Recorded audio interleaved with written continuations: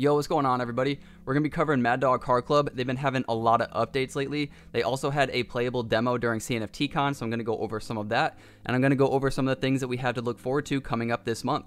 So first up, if you didn't know, Mad Dog Car Club has their own YouTube channel, and they did create a 20 minute video going over a lot of their demo and what they're going to be creating, and I will have that linked in the description below, but I'm going to be going over what I think are some of the most important parts. The first thing that you guys need to know is that every car has their own stats, and those stats are speed, acceleration, handling, and braking. Now, depending on which Mad Dog that you choose to race in that car, and depending on that Mad Dog's rarity, you will have some of those stats increased for that race. Also, if your Mad Dog skin is Chrome, Chameleon, Galaxy, or Gold, you can use these skins to be applied to the car as well, which will also boost some of your stats. Also in the top right, you can see the achievements, and certain Mad Dogs will have their own achievements. So you can see Jesco's right here with the flaming eyes. If you win 10 races, then you will get a flaming decal that's specific to that dog. When the game fully launches, they're going to have three game modes, Ranked, Unranked, and Practice. Now, on November 28th is when they're going to launch their version 1.01, which is going to allow you to connect your wallet and play on three tracks inside of the practice mode.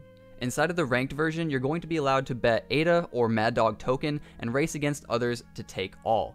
The unranked version, you're going to be able to play for fun and kind of practice and get used to things. And then practice, you're going to be able to just drive around. You'll also be able to test out new cars and new tracks. Also, when racing inside of unranked or ranked, you will be able to play against 4, 6, or 8 players at once.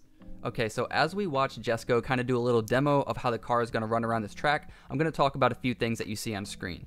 So first up, the track that you see right here, I'm calling the forest or the wooded track. They are also working on two others, the desert and the snow.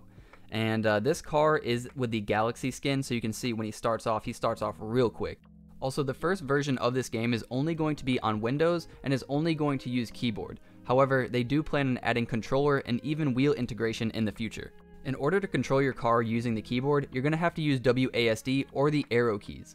Also, shift will be your boost and space will be your brakes. It's also cool to note that Jesco mentions he wants to go live either once a week or once every two weeks to show some of the demos and developments that the team is working on. Also, sometime after November 28th, they will be releasing version 1.02, where they do plan to introduce multiplayer where users can upgrade their NFTs as well as race against others. A cool note as well is that their team does want to attend more conventions to showcase what Mad Dog Car Club is building. So they will be attending Cardano Summit in Switzerland on November 19th to the 21st, as well as Decentral Miami on November 28th through the 29th. They have also just launched their version 2 of their token slash non custodial staking website, where holders can stake any of their Mad Dogs, their cars, MD licenses, and racers to earn the Mad Dog tokens. If you are interested in staking, just connect your wallet and then you can click on your wallet and you can see all of the assets that you can start staking. And you can also go over to staking, accumulate, and then click accumulate rewards. It'll take a second or two and then you'll get this prompt and all you'll have to do is sign your password and then you'll start staking.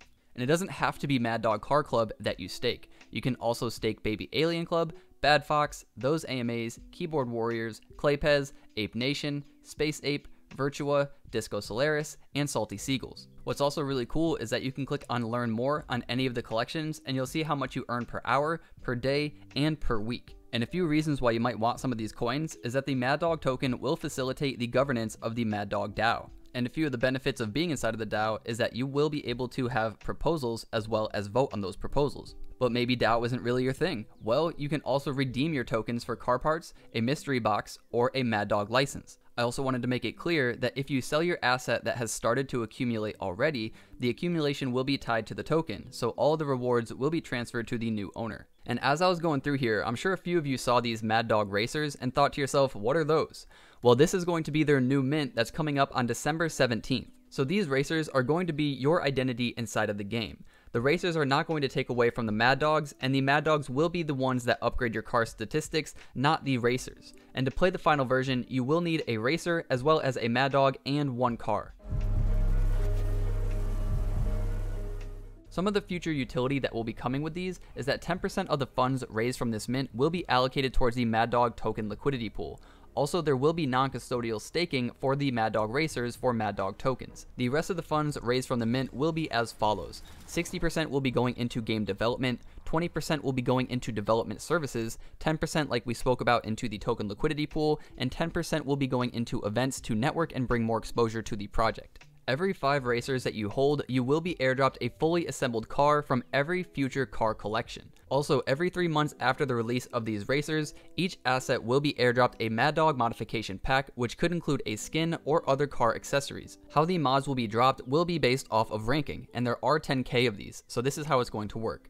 Between ranks 1 and 2500, you will get the Diamond modification package. Between 2500 and 1 to 5000, you will get a Gold modification package. Between 5001 to 7500, you will get the Silver, and between the last 2500, you will get a Bronze. These racers will also give you access to other metaverses. Some people have been wondering why human racers and not dogs, and there's kind of two reasons. First, they did try to create some 3D dogs, but in their opinion, they didn't look too good.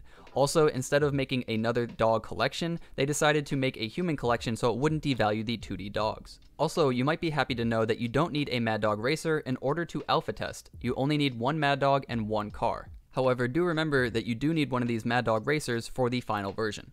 Also, we spoke on earlier that if you hold 5 of the Mad Dog Racers, you will be airdropped one free fully assembled car from every car collection that comes out, and the next one coming out is in quarter 1 of 2023. And I know a lot of people, including myself, want to know how many Mad Dog tokens will you be earning per day with these Mad Dog Racers.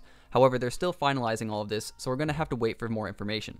If you guys are interested, the mint price will be 90 ADA. If you are on the whitelist, it will be for 75, and these are the various whitelists that are available. However, if you don't have any of these whitelists via owning a certain amount of dogs, you can still get a whitelist over here on this Twitter giveaway. If you guys are interested, I will have this tweet in the description below, and after this tweet finishes, I will be giving another 10 whitelist spots away inside of my Discord. If you would like to join my Discord, it's always in all of my descriptions below, and also you will need to own an Atlanick Ocean for these whitelist giveaways.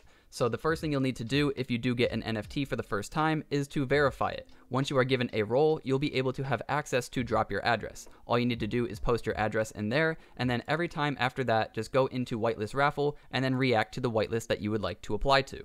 But that's everything that I wanted to cover today, guys. If any of this content helped you, please give me a like and subscribe. It really does help out the channel. And remember to get outside, see your family, see your friends. We're here to make more money so that we can spend more time with them. Until next time, guys, peace.